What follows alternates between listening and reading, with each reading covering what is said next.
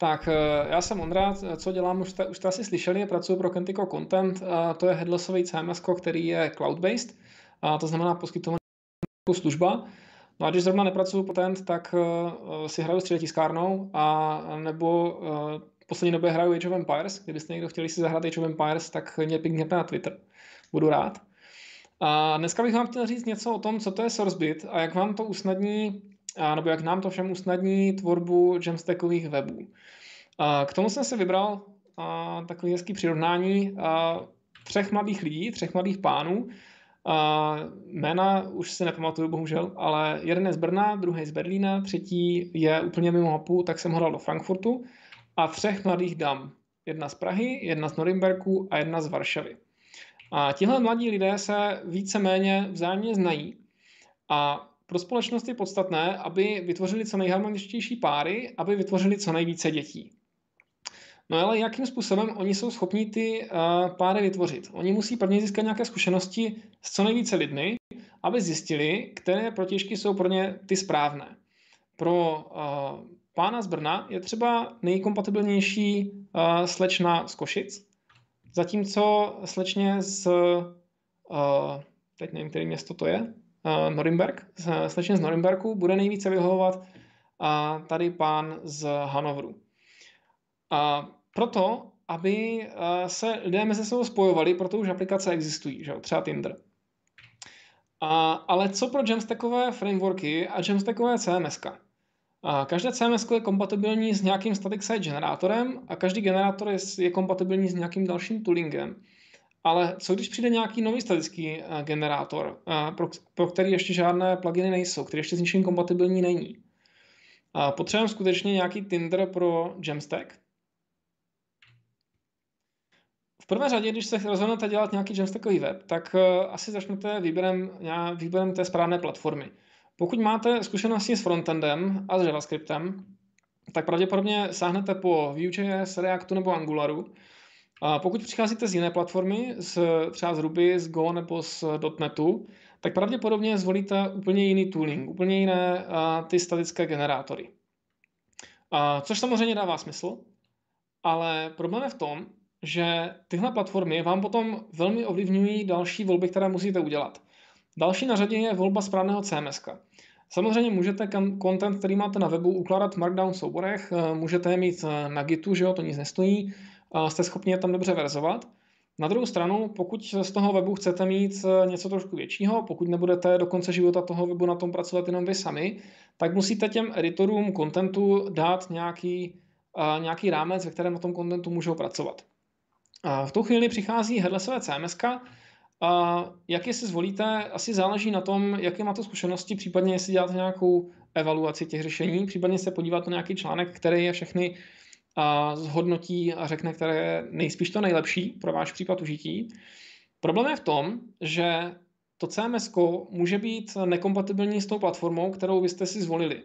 To znamená, když si zvolím třeba Ghost, tak ten nemusí být vůbec kompatibilní s třeba Hugem. A v tuhle chvíli přichází na řadu SourceBit. SourceBit je takový middle layer, něco jako Zapier třeba, pokud to znáte, a který vlastně spojuje ty headlessové CMS a static site generatory. A jak to funguje je, že má tři typy pluginů, nebo tři typy, no v podstatě to je plugin. A první z nich je source plugin, ten vlastně vezme všechna data z toho headlessového CMS, to znamená to, co dělá běžně source plugin pro to konkrétní, pro ten konkrétní generátor. A tyhle data předá SourceBitu, ale nepředá je v surovém stavu, ale předá je v normalizované podobě. Samozřejmě ty data můžeme normalizovat do určité míry. Jo? Nemůžeme uh, mít to schéma vždycky stejný, ale v určité normalizované formě to předá tomu SourceBitu. A další typ pluginu je Transformation plugin. Ten vlastně umožní ty data dál zpracovat podle toho, co vaše aplikace přesně potřebuje. A typicky, myslím si, že teďka, teďka tam je jeden plugin jenom tady na, na tuhle věc a ten eh, stahuje, uh, stahuje asety, obrázky a tak dál vlastně z remotu na, eh, do vašeho lokálního systému. A poslední typ pluginu je Target. Target vlastně slouží k tomu, že si ty data z toho sourcebitu převezme do té konkrétní platformy a upraví je pro, pro potřeby právě těch platform. Znamená, každý ten generátor má, určitá, má určité guidelines, určitý způsob, jakým ty data chce přijmout, určitý způsob, jaký, jakým s těma datama pracuje. A k tomu jsou právě ty target pluginy, které vezmou ty data a upraví je do podoby, jakou ten generátor eh, potřebuje. Tak, to je plus minus, jak ten SalesBit funguje. Já se teďka překliknu do uh, projektu, který jsem si vytvořil pro tady tuhle příležitost a já vám možná ukážu, jak ten projekt vypadá. Nejdřív. Tak, já jsem si zvolil uh, Phantom, je to šablona z HTML5app.net, uh, pokud neznáte. Úplně obyčejná uh, šablona, která má jednu index stránku, uh, nějaké uh, detailnější stránky, kam jsem si dal své blogposty. A já jsem je nakrmil daty, které momentálně mám v svém CMS, které se jmenuje Sanity. A ty blogposty uh, jsem zvolil tyhle, protože je mám i ve své uh, staré, nebo ve svém projektu uh, na contentu, uh, ale jsou trošku outdated, tak se nelekejte, dneska už většinu publikuju někde jinde. A každopádně pro ukázku si myslím, že to bude dobrý. Uh, můžu vám ukázat, jakým způsobem to vypadá v Sanity, což je uh, headlessový CMS, který funguje trošku jinak, než běžně CMS fungují. Každopádně tady v tom seznamu vidíte, že já tady mám raz, dva, tři, čtyři, pět, šest, sedm blogpostů a ty blogposty potom budu chtít do té stránky, do té stránky vložit. Tady tenhle web běží na, na Nextu. Jak jsem ukazoval na tom slajdu, tak SourceBit momentálně má target pluginy pro uh, tři generátory. Je to Hugo, Jekyll a Next pro JavaScript. Určitě bych doporučoval Next, a protože, protože eh, je úplně super, funguje na Reactu a, a není vůbec složitý se ho naučit. Já jsem žijící eh, příklad toho, že to je pravda.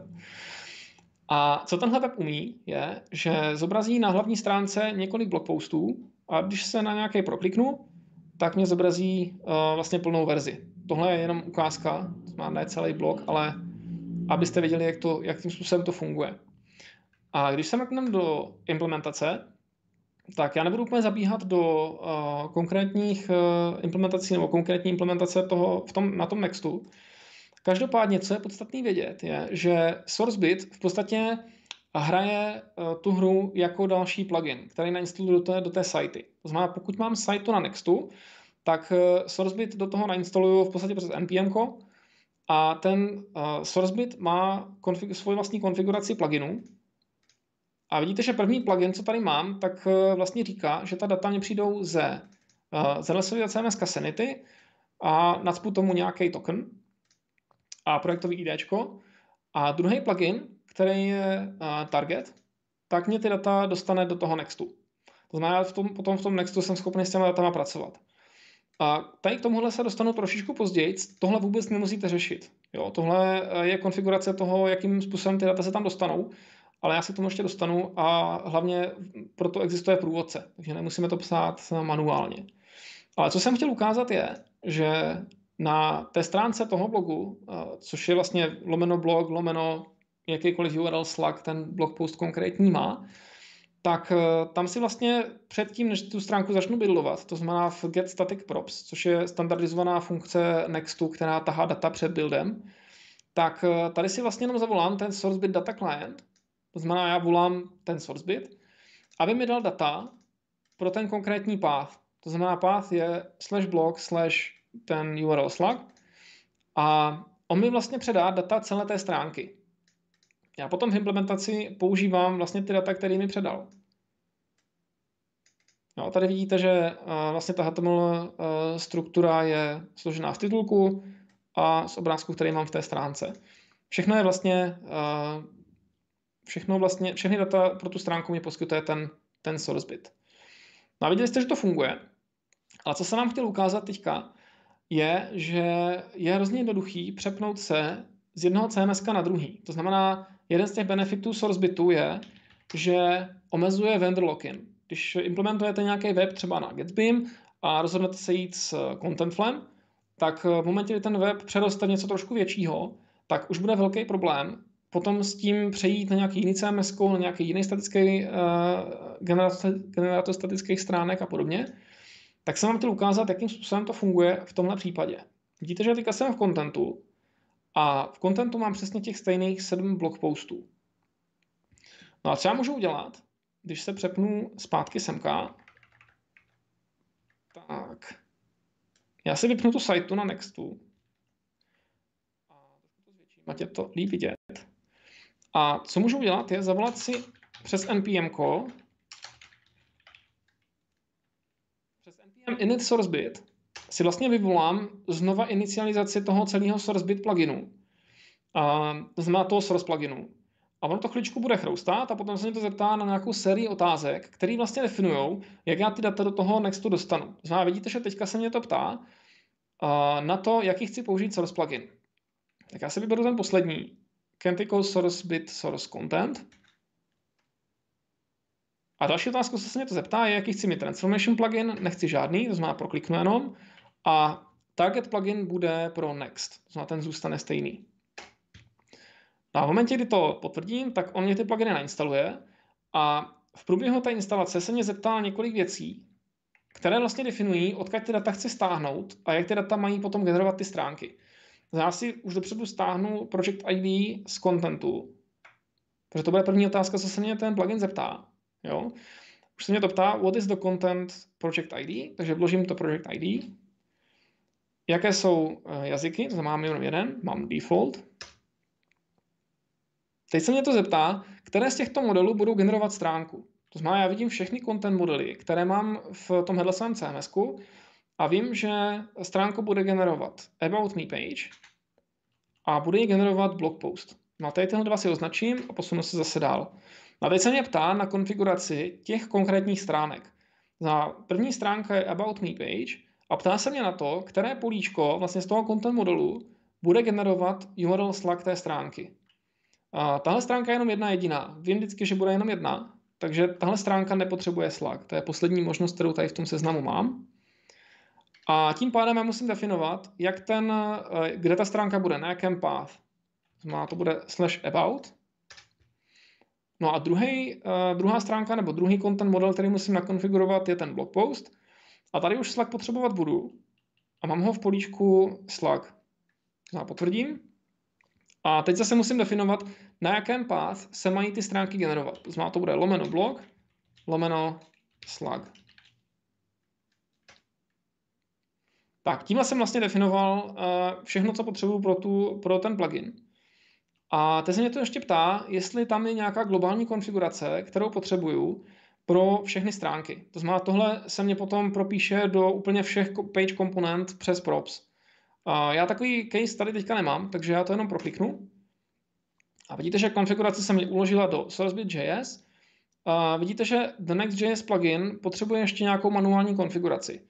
A to souvisí s tím, že abych sourcebit mohl používat, tak musím, v, musím vytvořit soubor, pokud ho ještě nemám, next config.js a hodit tam tyhle tři řádky kódu, které vlastně uh, si inicializují ten sourcebit a stáhnout ty data z tohohle svého CMS. To dělá přesně ten sourcebit.fetch.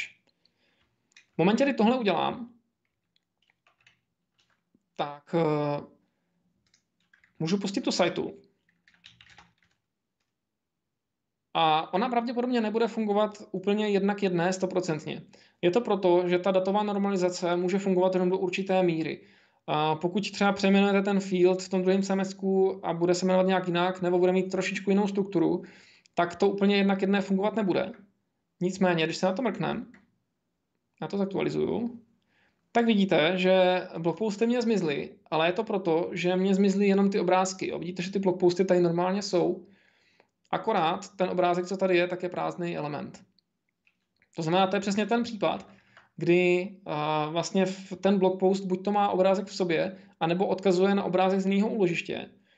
A když se mrkneme do indexu, jak se ty uh, obrázky rendrujou, to je přesně tady ten kus, tak eh, v Source mám nějaký přepínač, který mi říká, že buď to se použije ten obrázek, který přichází nebo je uložený v tomhle svém CMS, nebo se použije odkaz na externí úložiště. Tady je rozdíl v tom, že Sanity, když vám dotahuje obrázky, které jsou v něm uložený, tak vám je dotahuje v datech přes page.image.url, zatímco content to dělá přímo v page.image. A tady tahle struktura vychází přímo ze sourcebitu. Sourcebit vám vlastně dá pro každou stránku vám dá dvě políčka. První je path a druhý políčko je page. V path bude vždycky uh, odkaz na tu stránku, to znamená třeba blog, lomeno, URL, Slack. Jo? To je to vlastně, kde ta stránka potom bude existovat. Zatímco v page potom bude uh, celý model té stránky. To znamená, bude tam title, bude tam teaser a tak dál, podle toho, jak jste si to pojmenovali v, tě, v tomhle svém CMS. -ku. Zároveň tam ale taky bude dvě potržítka metadata. A v tomhle objektu zase budou všechna metadata, které k tomu, uh, které k té stránce přináleží. To znamená, kdy ta stránka byla vytvořena, kdy byla upravená a tak podobně. Tohle je zase normalizovaná věc. To znamená, ta bude stejná pro všechny, uh, pro všechny pluginy. No a tady vidíte, že, uh, že si vlastně vytahuju ten blog post. A tady vlastně používám trošku něco jiného a vytahuju všechny data a potom si vytahuju z těch všech dat jenom stránky, které začínají lomeno blog, protože na index stránce chci zobrazit jenom ty blog posty. A jakmile renderu tohoto mlko, tak už beru přímo ten konkrétní blog post, tu konkrétní stránku a dávám tečka page, protože nechci ten path, chci ten objekt té stránky a potom přímo tu property image. No a když jsem takhle upravil, můžeme se mrknout, jestli to bude, bude fungovat. Nebude to fungovat, tak jsem možná ještě něco někde zapomněl.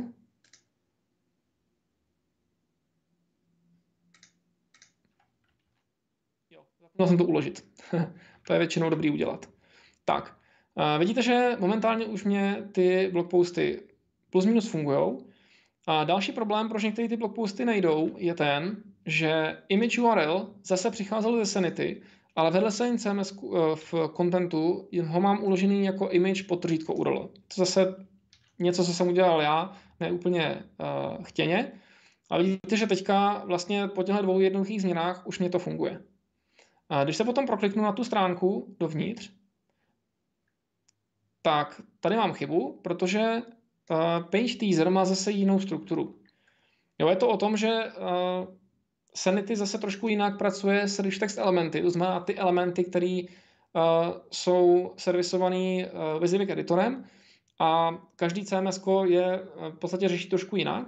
Takže v tu chvíli je potřeba se přizpůsobit, v těchto jako jednotlivých případech je potřeba se přizpůsobit tomu konkrétnímu CMS. -ku. Vidíte, že tady pro Sanity jsem měl uh, takový malinký resolver na ty rich texty, zatímco content mě ten rich text předá přímo v, už v resolvovaný minimálně co se týče HTML tagu na odstavce. To znamená, já co musím tady udělat je uh, hodit to přímo do divu. Dám page teaser.